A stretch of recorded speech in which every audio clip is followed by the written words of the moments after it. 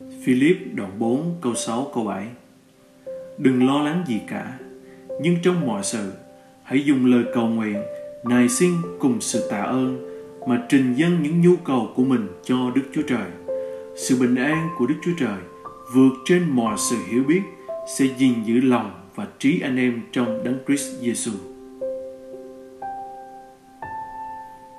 Thi Thiên 62 câu 5 câu 6 Hỡi linh hồn ta, hãy nghỉ an nơi Đức Chúa Trời, vì niềm hy vọng ta đặt nơi Ngài.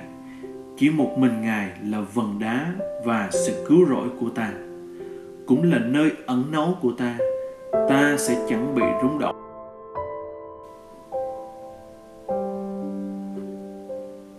Matthew đoạn 13 câu 22 Hạt giống rơi giữa bụi gai là những người nghe đạo nhưng sự lo lắng về đời này sự quyến rũ của giàu sang làm cho đạo bị nghẹt ngòi nên không kết quả. Colosse đoạn 3 câu 2 câu 3 Hãy chú tâm vào những điều ở trên trời. Đừng chú tâm đến những điều ở dưới đất. Vì anh em đã chết, Sự sống của mình đã giấu với Đấng Christ trong Đức Chúa Trời. Thi Thiên 94 câu 19 khi lòng con đầy ưu tư lo lắng, Thì sự an ủi của Ngài làm cho linh hồn con vui vẻ. Matthew đoạn 11 câu 28 đến câu 30 Hỡi những ai mệt mỏi và gánh nặng, Hãy đến với ta. Ta sẽ cho các ngươi được an nghỉ. Ta có lòng nhu mì, Khiêm nhường. Hãy gánh lấy ách của ta và học theo ta thì linh hồn các ngươi sẽ được an nghỉ, vì ách ta dễ chịu và gánh ta nhẹ nhàng. Giăng đoạn 14 từ câu 1 đến câu 3 Lòng các con đừng bối rối. Hãy tin Đức Chúa Trời, Cũng hãy tin ta nữa. Trong nhà cha ta có nhiều chỗ ở. Nếu không phải vậy, sao ta lại nói với các con rằng, ta đi chuẩn bị cho các con một chỗ. Khi ta đi và đã chuẩn bị chỗ cho các con rồi, ta sẽ trở lại đem các con đi với ta. Để ta ở đâu thì các con cũng ở đó. Các con biết ta đi đâu và biết đường đi nữa. Phi-e-rơ nhất đoạn 5 câu 7 Hãy trao mọi điều lo lắng mình cho Ngài, vì Ngài luôn săn sóc anh em.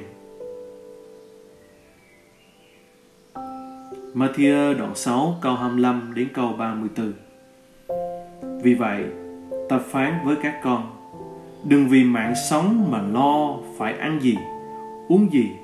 Đừng vì thân thể mà lo phải mặc gì. Mạng sống không quý trọng hơn thức ăn sao? Thân thể không quý trọng hơn quần áo sao? Hãy xem loài chim trời Không gieo, không gặt, không tích trữ vào kho, nhưng cha các con trên trời vẫn nuôi chúng. Các con lại chẳng quý trọng hơn loài chim sao?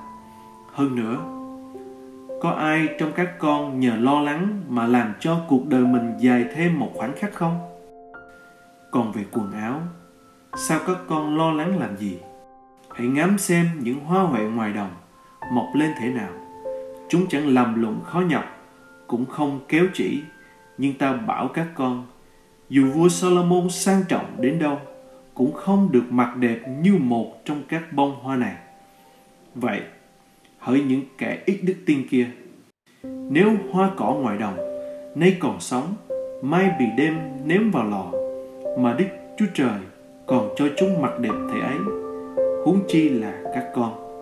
Vì vậy, đừng lo lắng mà tự hỏi, chúng ta sẽ ăn gì, uống gì, mặc gì vì tất cả những điều này, các dân ngoại vẫn tìm kiếm, và cha các con ở trên trời đã biết mọi nhu cầu của các con.